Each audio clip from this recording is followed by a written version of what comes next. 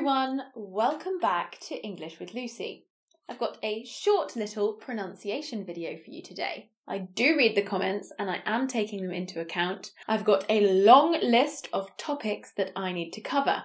But today I thought we should take a thorough look through some words, and even though they can be quite difficult, I'm pretty sure I can help you with them. So today we are looking at these four words here. Let's look at the first one. Though. Though. Then we have thorough, thorough, and then through, through, and finally thought, thought. Let's divide these words into two sections. Those that start with the unvoiced consonant, and those that start with th, the voiced consonant. Thorough, thought, and through start with the unvoiced consonant, and though starts with the voiced consonant. Now let's look at the vowel sounds. The big odd one out is that thorough has two syllables. So we start with th.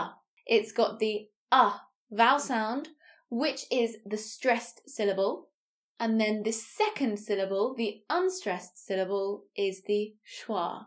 Uh, thorough, thorough, through. Okay? We've got a long oo sound. Through, through, oo.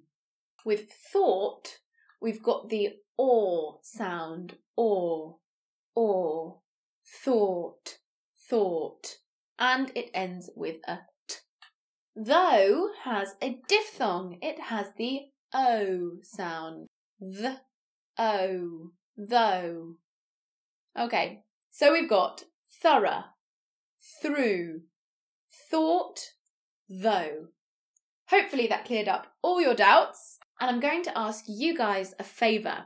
Next time you see anyone with a doubt about how to pronounce any of these words, I want you to send them this video. I see people worrying about these words all the time, and I know that we can help them now with this video. If you want to learn more about British English pronunciation, join my free live pronunciation lesson every Sunday at 4:30 London GMT time.